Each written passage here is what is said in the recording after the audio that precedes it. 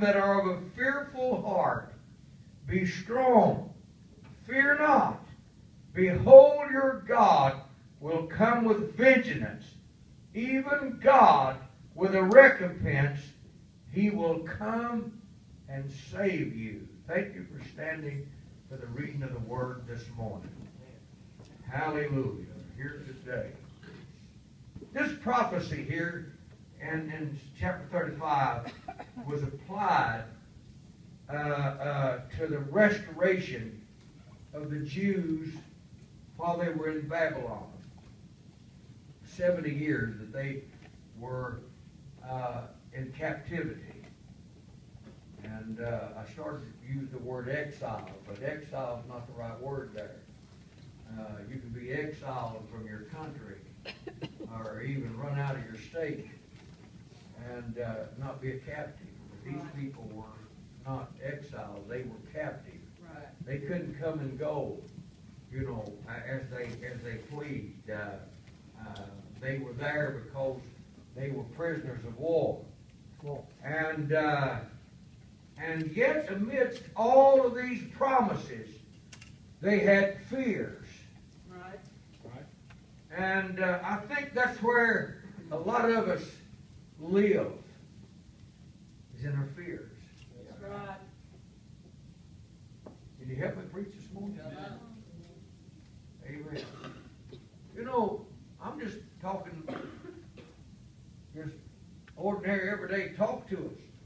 You know, uh, these cancer growths that gets on your skin runs in my family. My youngest brother had a big one took off his face. Dad's had several burn off his hands and face. And sister Marcia here has to deal with them. And uh, sometimes I can, you know, I no more hair than I've got. I don't use a blow dryer. I just get out of the shower and get a towel and just fuzz it up, you know. And uh, Esther says, if you go keep doing that, you're going to rub what you got off. And uh, but sometimes I can I can rub too hard with that towel and my face will break loose and bleed, you know. Fear. Maybe I've got something like that, you know. At other times, I, I, I, I have fear hit me over this and fear hit me over that. And I've got the promises of the Word of God. That's right. That's right. Amen. And I've got promises that God has given me personally Right. that either he spoke to me or let me see it in a dream or vision, the end result of it. You gotta still have fears. You too. You too. Amen. I feel like talking to us. I feel praise of God. Amen. But there's a consolation set before us in spite of all this fearful hesitation that God is with us, that God's helping us. Come on. Hallelujah. I'm telling you, there's going to be a brighter day. Right. I, you know, uh, uh, it can't get any worse than this. Well, it probably could, but thank God it's not. Right. Hallelujah. A lot of times when we think things can't get any worse, we haven't seen the worst yet. Then when we really need to thank God for His guiding hand, for His protecting hand. Hallelujah. But there's people who have a fearful heart. They just didn't know what to do.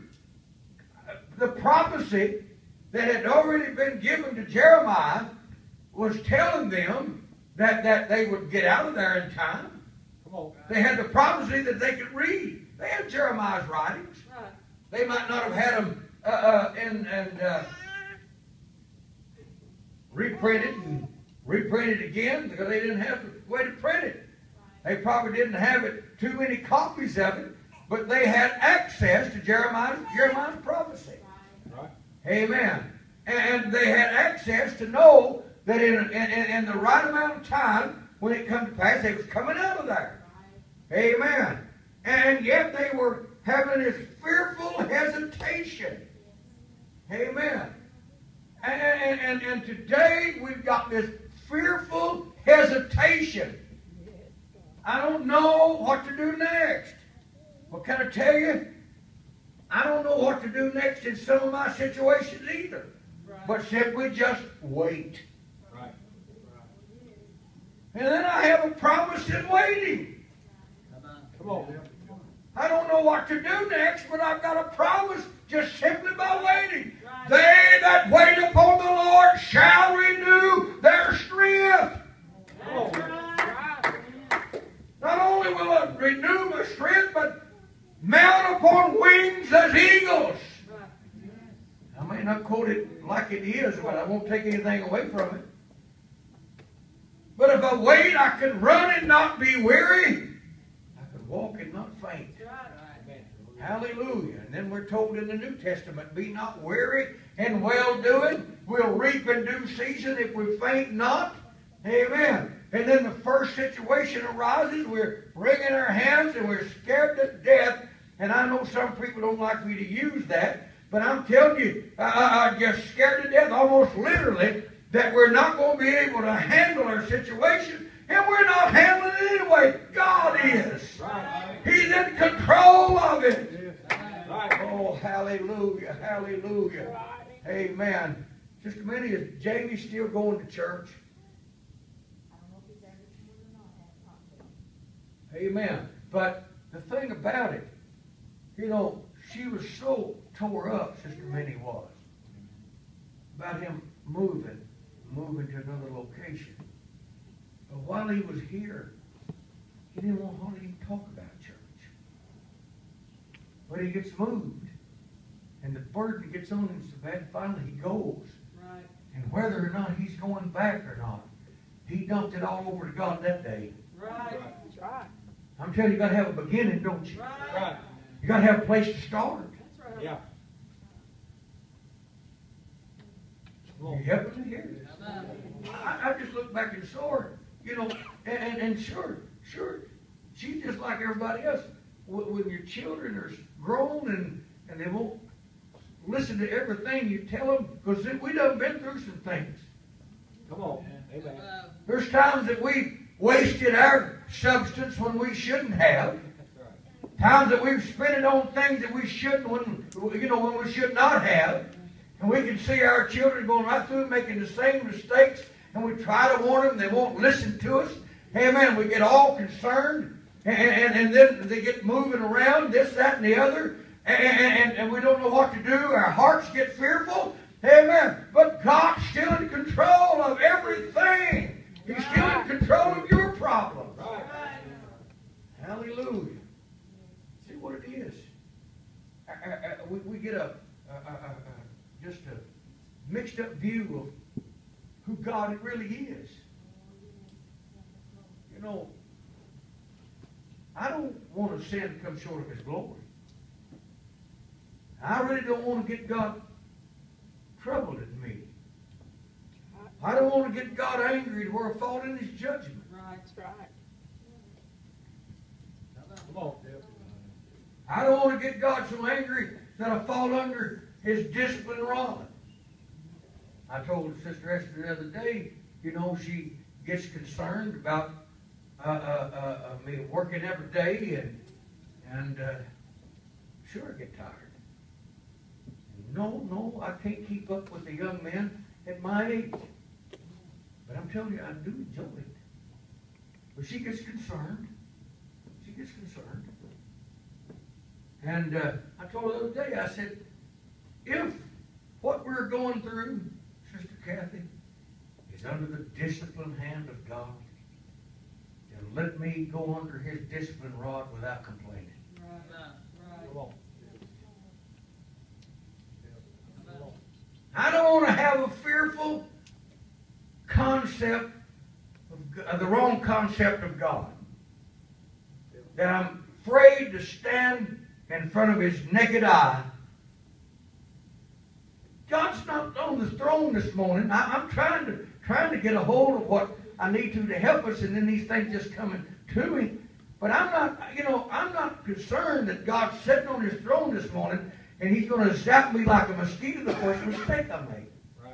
Neither is he going to do you that way. Right. But under his watchful eye, He's gonna, he's gonna have, help me preach, under his watchful eye and his guiding hand, he knows what he's doing with our lives. Right.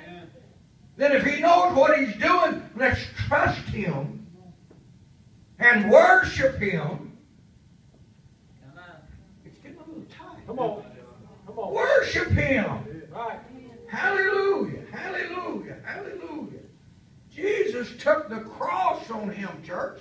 That, that, that humanity don't have to be afraid. We can bear our cross. He told us to take up our cross and follow him. But I'm going to tell you, our cross will never be what his cross was. Right. The things that we bear in life will never be what Christ bore in life. The situation that we endure will never be what He endured. And so let's just shoulder our problems, amen, and realize that we're not handling them by our own strength, that we've got somebody standing beside of us, and that He's handling our problems for us. Right. Yes. Strengthen the weakened, the feeble knees, He said here. Amen. Oh, God. Keep us to- Strengthen the weakened hands and weak hands and confirm the feeble knees. Who's doing that? God's doing that. We help one another, but God's helping us today. Hallelujah. Amen. Amen. God's there for us today. He's there for us. Amen. There's fear in our hearts when we think of people. We think of people and and and uh, uh, I'm just talking to you and using some of my experiences. And uh, I, I, I didn't mean any harm by the things that I said Wednesday night, but I've been through situations and felt like I've got blistered up pretty bad. Come on. And and and, and with the Lord's help, I've come through it and and and going right on for God. Amen. And and, and you know, and I realize that some of these people that that does you harm are just waiting to get a chance to do it again. That's right. But I can't just sit around and never do anything for God because I know I got an enemy somewhere out there lurking in the shadow trying to do something evil against me. I've got to keep on preaching for God. Right. I got to try to keep on reaching for the lost. Yes. You know, and I've been I've been going different places and and sometimes I haven't been in a while, but but going places and places that one time I would not have went and if you'd asked me, did you ever go amongst those people and preach for them? I went ahead and laughed at you. Absolutely not. Amen. But but uh, uh, uh, the Lord opened the door and and I'll preach whenever I've got the opportunity. Amen. And and and let people talk. Let them say things. Amen. I know where I'm standing with God. Come on. Hallelujah. Don't you know where you're standing with God? Yes. Amen. Well, glory. And if we know where we're standing with God, amen. I'm going to tell you that we finally, we get in a place with the Lord where the gainsayers have nothing to say. Right. Amen. Hallelujah. I don't care where we preach, where we go, amen, what we're doing. We could go into the worldliest church in our community and preach. Amen. And then everybody jump back and say, oh, they went worldly now. Amen. But what can they say, Brother John, when we went there and we reached a soul and when we come back to our sanctuary where we get out of try to get out of the presence of the enemy, try to push back all of our fears, try to get where we can worship God. And while we're here, the Lord moves on us and we lay hands on the sick and we see them recover. We lay hands on the people and they're filled with the baptism of the Holy Ghost. Come here now. Help me preach. And, and, and we can cast out devils. Amen. What does it matter what somebody might say? Well, they go here and they go there. I'm telling you, you get so fearful, you're afraid to move and do anything for God. I'm going to go ahead and say it. We, I've used this illustration before. We were preaching up Doe Creek. And, and when we had church on Tuesday nights and Sunday afternoons at 2, we had real large crowds because they were coming from the Baptist church and helping us and two Baptist churches. and helping us, and, and from the Church of God, and, uh, and, and a lot of, well, from a lot of independent churches were coming, and, and, and at times, you know, seventy-five would have been a large crowd in that little building, seventy-five. And a lot of times we had over that, and it was, you know, packed house. Well, then I, I felt the burden to start having church rather two o'clock on Sunday mornings at ten, and, and then back there on Sunday nights, and still on Tuesday evenings. Well, on Sunday nights and Sunday mornings, the crowd went down. Sister Minnie was going there then, and uh, and the crowd being down, but it didn't take long to. We was running 35 and 40 in Sunday school, right out there in the country, and having Sunday school rooms, none at all. And it, in the springtime, I had an old old uh, Ford Econoline van. You couldn't hardly hold a thing between the lines. It was uh, bad about you know uh, uh, guarding all over the road. And uh, but we had Sunday school, one Sunday school class in that.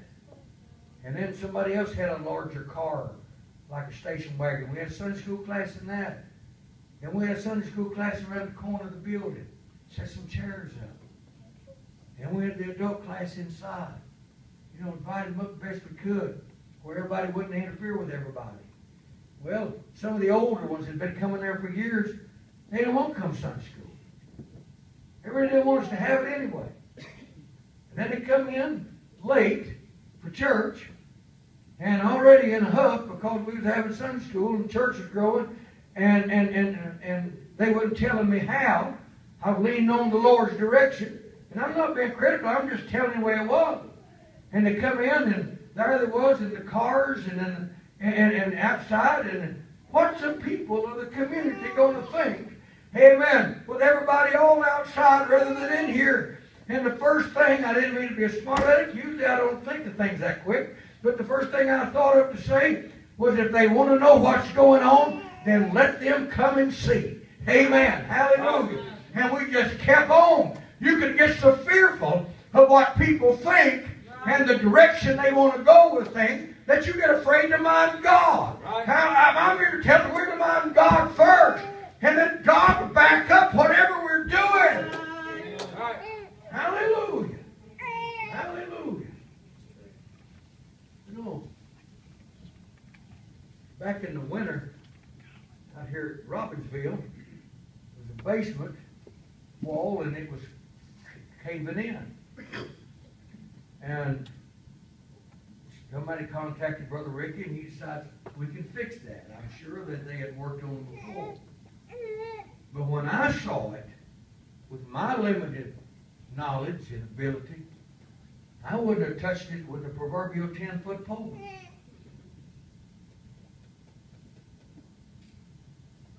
But with their ability and their knowledge, they dug the wall, all the dirt out away from the wall, and you know, I'm thinking they're going to dig the dirt out away from the wall to get the pressure off of it. They're going to jack this house up. They're going to tear this wall out and relay it. That wasn't what they did. They cut holes all in that concrete wall, all in that block. Cut holes all in it, and jabbed big pieces of steel down in there, all the way down, all the way down. They built another wall right beside of it, out of wood and, and forms, and poured all of that full of slushy concrete and put steel down in there, and then fixed it and put the wall back. And I'm thinking, hey, I just don't think it's gonna hold, it just don't sound it's gonna hold. But the inspector that worked for the mortgage company come out there and watch that, and he got the man's card, and he said, if we ever do that again, I run into that again, I would, I, I, I, would call in you. He liked what he saw. But you, but you had to, I had to overcome your fears. That's right. That's what I'm trying to preach on. You've got to overcome. If he ever got the job done, had to overcome the fear.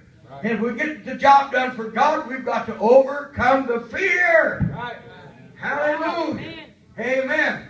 Yes. Well, glory to God. Hallelujah. Amen. Uh, uh, uh, the fear of man, Proverbs said, bringeth a snare. We're afraid of opposition. We're not guaranteed immunity from trouble. Trouble's going to come, But I'm here to tell you, God moves through a tempted and tried people. God works through a tempted and tried people. Amen. We've come through it, and God knows we have, and God's using us. Right. We've overcome faith, and we get rid of that timid spirit. We become a courageous people. Daniel would have never went into the den of lions with a timid spirit. But somewhere, brothers, Daniel got a hold of enough of God. He got a hold of enough of God that if he knew that God didn't deliver him from the lions when he went into the den, Yeah, that he was still in God's hands anyway. That's that's right. right. But I believe Daniel knew the next morning he'd still be alive. Yeah, The Hebrew boys went so far as to say, if God don't, I'm not bound anyway. right. They somewhere along the line they got a hold enough of God that they got rid of that timid spirit. Right. Yes, I'm going to work for God. that's right. Somewhere along the line, I'm going to tell you, you know, I don't understand why people get so fearful, and I'm feeling something from God here right now. Of their position in life. Now, when I worked over the departments, I tried tried my best to do my best I could, and I and I did better.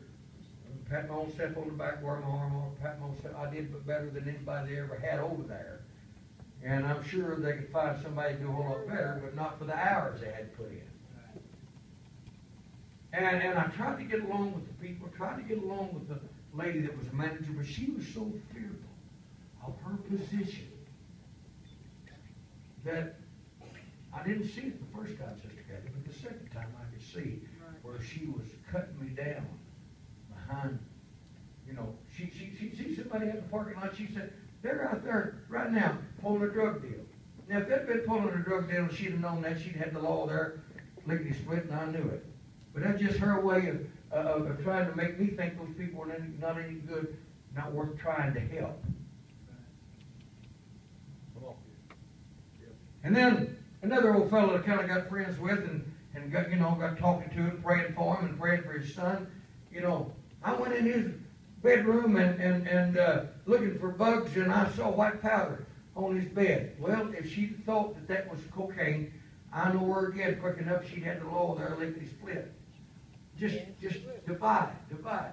Why is she? Because she's fearful of her place in life.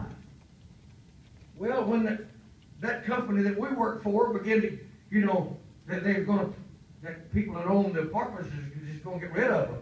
And she wanted to keep her job. But she knew that with them there, and they started questioning me why this wasn't done and why that wasn't done, she knew I wasn't going to lie for her or me or nobody else. I was going to tell them that she wouldn't let me and they wouldn't spend the money. And so what she do? She wanted me out of there. And that's exactly what she got. Fearful of her position in life. But it didn't help her none. She lost her place too. That's right. Come on. That's My right. point is, if we get fearful of our position in life, we'll not only we'll not only cause somebody else to stumble, you'll lose your place too. Right. Right. Do we have to get so afraid somebody else is going to do something? Somebody else is going to rise up that we get so afraid? I'm preaching to somebody here today. Come on. We're so afraid somebody else is going to rise up. We thought they were out of the way, but here they, they're right back in the. I don't know what I'm going to do. Well, you remember Haman and Mordecai? Haman could not stand Mordecai because Mordecai would not bow down to him. That's right. That's right. And I'm going to get rid of him. I'm going to get rid of Mordecai. And he starts plotting a way to get rid of Mordecai. And he builds a gallows for Mordecai to be hanged on. And he winds up hanged on the same gallows right. that he built for the other man. Right. Been fearful of his position in life. Yes. God, would you help me preach here this morning? Oh, Amen. Jealousy will destroy you. Jealousy Amen. Fear and jealousy runs together. Yes, It'll destroy you. Can we not see what's happened to other people in the past? And we're not going to let it happen to us. Somebody help me preach here today.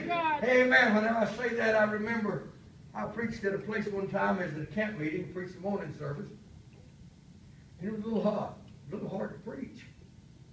Harder than it should have been. Yes. And I said, come on, you folks, help me preach. Oh, God. Amen. And then the evening speaker got up and he let us know that you wasn't supposed to do that. Well, I, I had news for him. I've heard camp meeting preachers. There's a whole lot, well, more well known than him that ask people to help him preach every now and then. And I wasn't even a camp meeting preacher. Never have been. Never even, not even on my mind. I was just preaching the morning service that time. Amen. Somebody helping me here? Come on. Amen. What I'm going to do that, we want you to get together. Right. Yes. Right. That's When right. we say somebody help me preach, we want us to get together and Yes. go the same direction with it. We need to get to where we've got, not just need to, it's imperative, it's a must that we get past this fear in our life, our fear of our position, fear of God, fear of man. It's right to fear God, but when we fear God, let us, let us do it to where it's a respect of God and not just afraid to move in the presence of God. Right.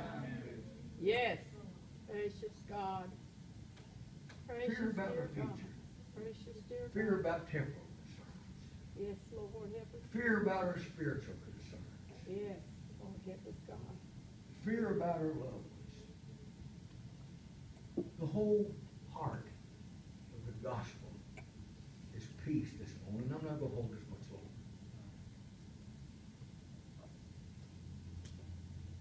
The whole problem with fear is unbelief. Right. That's right. Come on. That's the whole problem with fear. We're not stable enough that we believe that God is and that He's a rewarder of those that diligently seek Him. And that we're so afraid of everything in life that we can't make the proper move for anything. Because we're afraid. We're, Help we us, God. Help us, God. Help us, God. Gracious God's called you. Yes, God. And He's going to establish you. Yes. But to be able to have overcome this fear, we've got to have peace. Yes. Yes, Lord. I feel like I'm out here all by myself this morning. Come on, Help us, preach. God. But you've got to have peace. Yes. You know, when I come in from work of a night, and I, I- of a night, then, then I, I don't want, I, I, I don't want any hassle. Does anybody else live here? Come on. Well, I, I don't want a, a hassle. I, I, I- you know, we, we, we, we we went through things all day long. And, and so we come home and we want to rest, don't we? Hallelujah. Precious We want peace at home. And then when we got peace in our heart, we'll have peace at work too. Well, that with me. Peace, peace overcomes that fear. And you've got that peace when you pray through on a regular basis, you're still praying for revival. Yes, Sister Kathy said a few minutes ago, we've had two weeks of revival. No, we've had two weeks of, of getting started, just like she said, in the revival services that we intend to continue. Right. Yes. I don't mean this harsh. Well, John, I'm not one of those pastors that thinks we ought to have revival every two weeks. I don't even think we ought to have revival services bringing in evangelists every month. Unless it's the will of God, we shouldn't have to bring one in every quarter. Come I don't see anything wrong with having a revival every month and bringing the evangelists in if God's will's in it. Yes. But if it's just to keep us pumped up, Right. then we're at the wrong, we're doing the wrong thing. Yes, God. Hallelujah. God. We've got to have more than man religion. That's Right. right. I remember one time going to a church and we went to a lot of different churches back when we were younger, before I started going to Church of God getting settled down. Understand what Sunday school was, understand what Sunday morning service was, understood what getting established in the church was, understood what getting my position in the church meant. And when I got my position, I didn't need to be afraid of it. But Before I go, go, go, go to, to that, the other, let me get back to this. And I was going to the Church of God and, uh, and, uh, preaching on Wednesday nights and sharing Wednesday nights with another preacher. And the other preacher was jealous of my friendship with the pastor. Yes. And I didn't get to spend much time with him. I just got I worked every day. Right. The only time I got to be with him was in church. And I lived in one county and they lived in the other. The other fellow, he was retired and pastor didn't have a full-time job. There was no reason they couldn't spend time together. Yet he was jealous of my friendship with the pastor.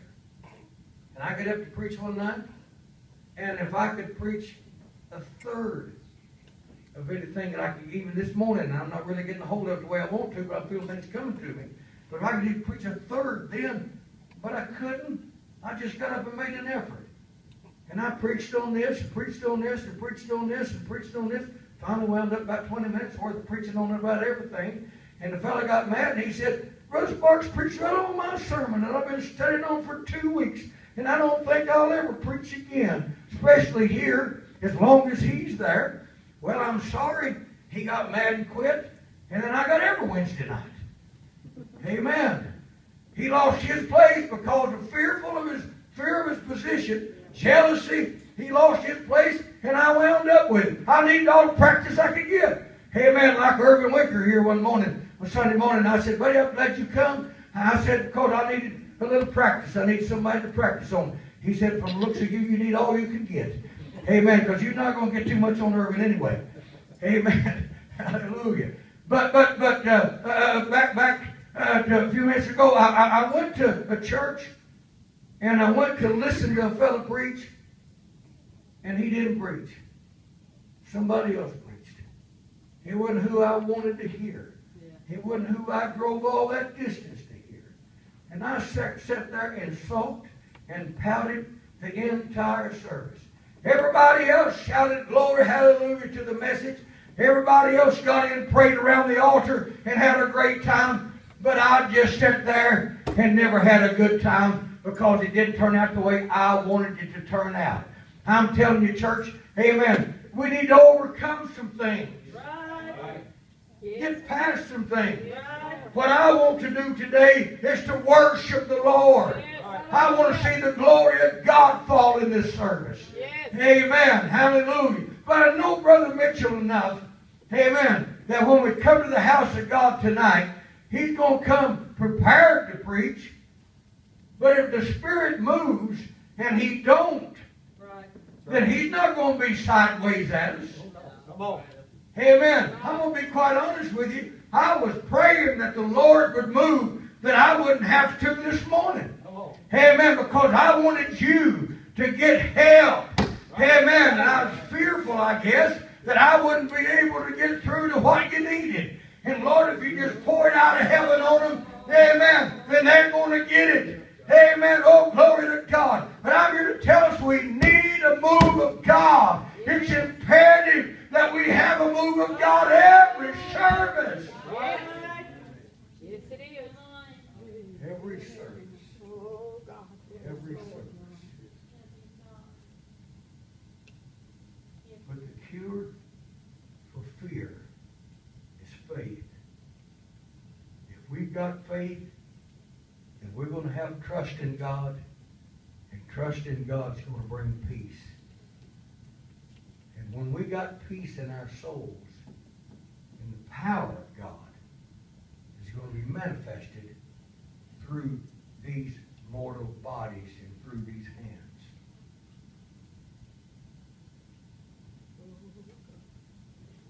Dear God. Yes, Lord. We're praying, God, give it to the preacher. God, give it to the preacher. God, give it to the pulpit associates. Why don't we pray that God give it to you? Amen. That's right. Yes. don't you make the necessary adjustments in your life, that God will give it to you. I won't be jealous if God uses you and you lay hands on the sick and you recover. I won't do you like the preacher done. Another preacher, I start to his name, but I won't. And then everybody knows we're talking about. Then another preacher in his church, one morning the service got all fired up. This young preacher there in the church got fired up, and the Lord started using him. And he knew that the Lord was on him and the Holy Ghost was on him, Brother Mitchell. And so he just kept on going. And he kept on going till the Holy Ghost zeroed him right in on a lost man sitting in the church. Yep. Well, if the Holy Ghost is on him and you see he zeroed in on the lost man sitting in the church, he didn't need anybody to tell him whether or not he could make an altar service. No. He didn't need to be petting nobody's ego. What he needed right there was to mind God. Right. And so the young preacher did that. He minded God. And he made the altar service. And the young man came to pray. Yeah. Came to the altar and he prayed. Then the pastor got mad at him because he didn't get the credit. He didn't get to be the one to preach to the man. He didn't get to be the one. He wasn't in the spotlight. It was somebody else.